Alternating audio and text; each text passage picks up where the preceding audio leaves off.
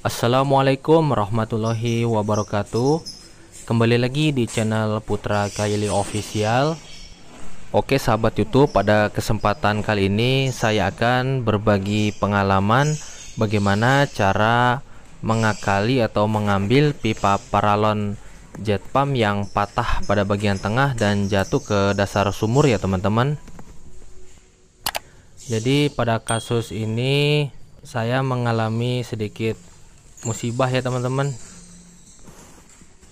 Pada saat pengangkatan paralon untuk penggantian mata jet pipa yang diangkat patah ya teman-teman dan jatuh ke dasar sumur.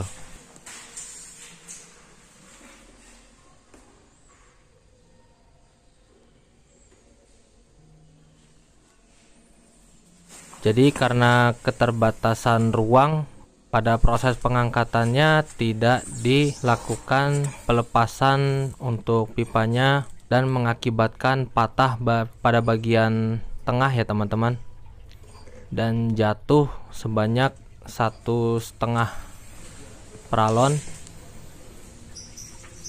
Berikut dengan mata jet dan tulisan klepnya ya teman-teman di sini saya akan memberikan tutorial bagaimana cara untuk mengangkatnya dan alhamdulillah cara ini berhasil ya teman-teman.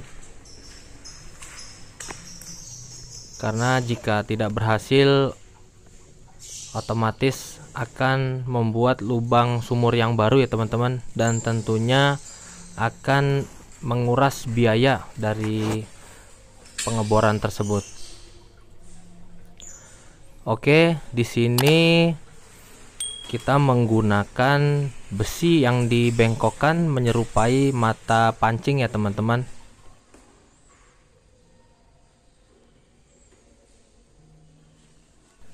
Dan diikat menggunakan tali karet agar tidak mudah selip ya teman-teman. Untuk proses pengangkatannya saya tidak dapat mendokumentasikannya karena kami hanya berdua dan saya membantu untuk proses pengangkatan dari pipa yang patah tersebut ya teman-teman.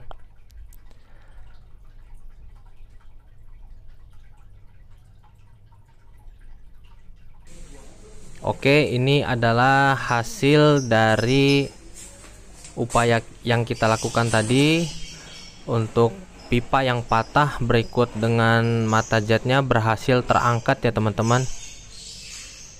Alhamdulillah. Jadi untuk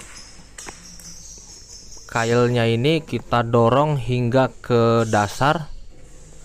Selanjutnya kita putar-putar ya teman-teman agar mendapatkan posisi yang tepat untuk mengangkat patahan dari peralon tersebut.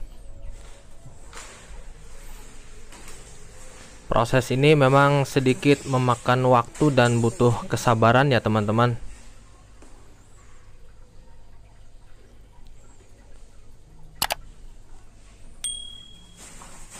Bayangkan jika peralon yang patah tersebut tidak berhasil terangkat, otomatis akan membuat lubang sumur yang baru yang tentunya akan menguras dari isi dompet teman-teman ya.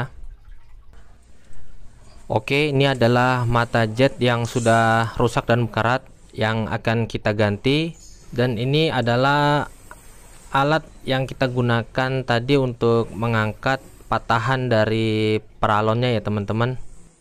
Di sini saya sengaja menggunakan peralon untuk media ikatnya agar dapat memberikan dorongan terhadap besi tersebut untuk menyentuh dasar dari sumur ini ya teman-teman. Berbeda jika kita menggunakan tali maka akan lebih sulit untuk prosesnya. Oke cukup sekian video tutorial dari saya. Semoga bermanfaat bagi teman-teman yang mengalami hal serupa. Sampai jumpa pada video-video selanjutnya Bye bye.